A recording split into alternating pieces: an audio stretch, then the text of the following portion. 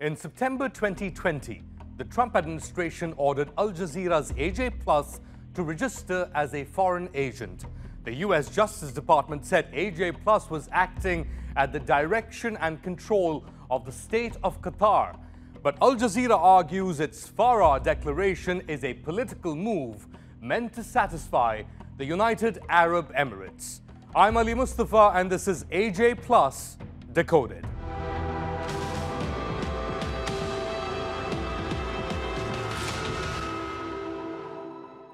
In 2017, Saudi Arabia, United Arab Emirates and Bahrain imposed a blockade on Qatar. They accused the tiny gas behemoth of supporting the Muslim Brotherhood movement and demanded that Qatar shut down its Al Jazeera network.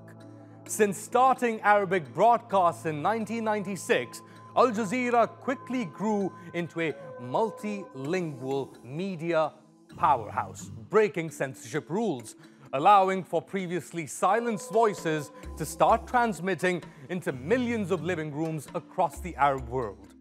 Qatar's influence grew further with the Arab Spring protests in 2011 on the back of Al Jazeera's non-stop coverage.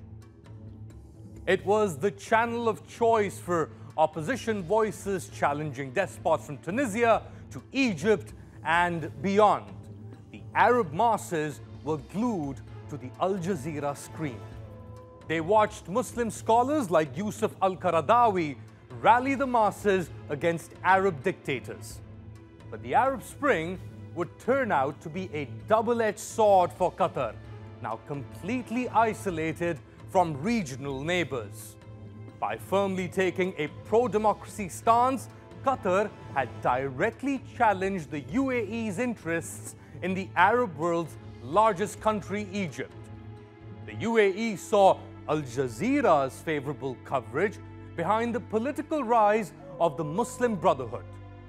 So when General Abdel Fattah al-Sisi removed Egypt's first democratically elected President Mohamed Morsi, the balance shifted in the UAE's favor.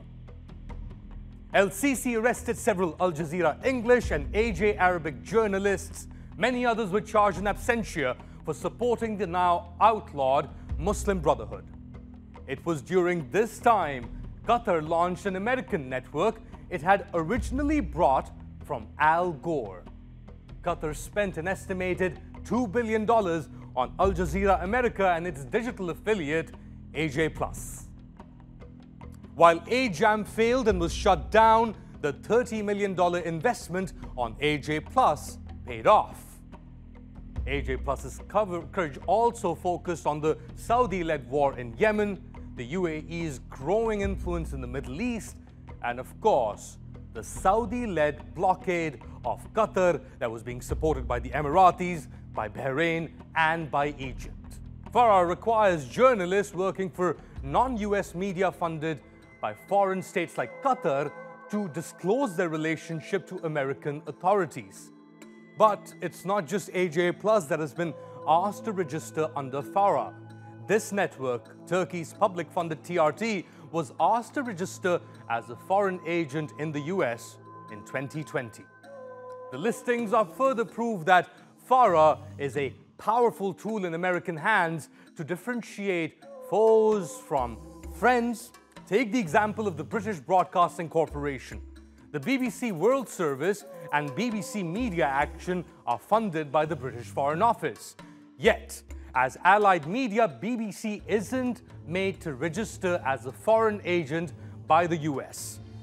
The censoring of AJ Plus is also the result of an expensive lobbying campaign by Akin Gump, which is ironically the UAE's registered foreign agent in the US. By listing AJ Plus and its journalists as Qatari foreign agents, the US has lifted the curtain on a biased, highly selective system of rewards and punishments. All animals are equal, but some animals are more equal than others.